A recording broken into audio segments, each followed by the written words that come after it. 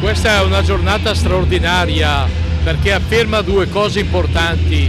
Primo, che i contratti di lavoro vanno rinnovati. Questo è un contratto di lavoro a lungo scaduto.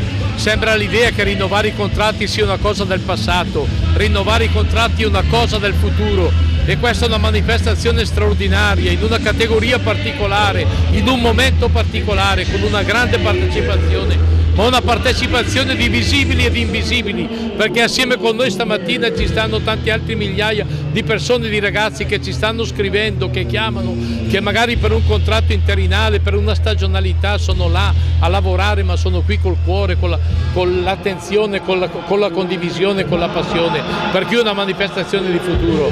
La seconda è una manifestazione che si chiude alla fine di una grande settimana di rapporti fra le organizzazioni sindacali.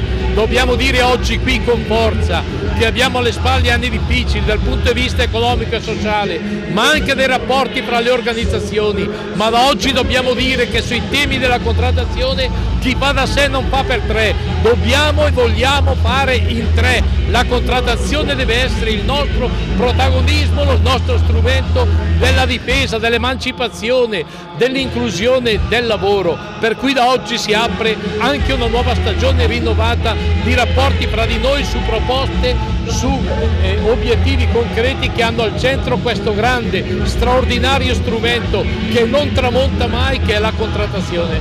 Tanti lavoratori in piazza a Milano per lo sciopero nazionale, cosa chiedono questi lavoratori? Questi lavoratori chiedono dignità nel rinnovo del contratto, un rinnovo di contratto fermo da due anni, soprattutto per i lavoratori della grande distribuzione e della cooperazione commerciale. Noi chiediamo che si passi immediatamente alla fase negoziale, che si riprendano le trattative e che si dia dignità al lavoro per molte centinaia di migliaia di lavoratori dei grandi ipermercati, delle grandi superfici commerciali e della cooperazione perché le associazioni datoriali non vogliono rinnovare il contratto?